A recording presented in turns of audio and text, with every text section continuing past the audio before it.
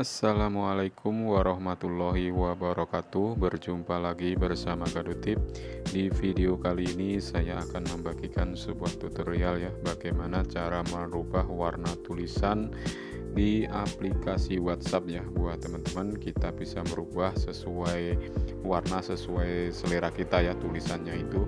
Dan untuk itu bagi teman-teman yang ingin mendownloadnya silahkan kalian download linknya sudah saya sediakan di bawah video ini ya di deskripsi ya tentunya. Dan sebelum itu untuk aplikasi WhatsApp lamanya bisa kalian cadangkan dulu ya buat teman-teman.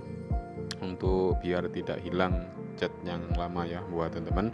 Dan untuk itu bagi teman-teman saya mohon dukungan dan supportnya untuk membangun channel ini dengan tekan like. Dan jangan lupa untuk di subscribe ya. Dan ini adalah aplikasi whatsappnya. Langsung saja kita buka untuk aplikasinya ya. Di sini bisa kalian cadangkan dulu ya buat teman-teman untuk aplikasi WhatsApp yang lamanya sebelum dihapus ya dan ini langsung saja untuk merubah warna tulisannya. Bisa kalian langsung saja kalian tekan yang ada di pojok kanan atas ini ya titik tiga ini ya. Di sini. Setelah itu kalian tekan vote mode ini ya buat teman-teman. Kalian tekan. Setelah itu kalian bisa tari yaitu layar beranda ini ya buat teman-teman. Kalian tekan layar beranda setelah itu kalian cari baris ini ya. Kalian tekan saja baris. Setelah itu kalian bisa geser ke bawah ya. Kita gulir ke bawah. Dan ini ada tulisan warna tag ini ya. Kalian bisa langsung saja tekan saja. Dan di sini untuk pengaturannya itu warnanya sesuai keinginan kita ya buat teman-teman. Sesuai selera kita bisa kita atur ya buat teman-teman dan kalian langsung saja tekan warna baru ini ya. Kalau sudah dan kita kembali saja.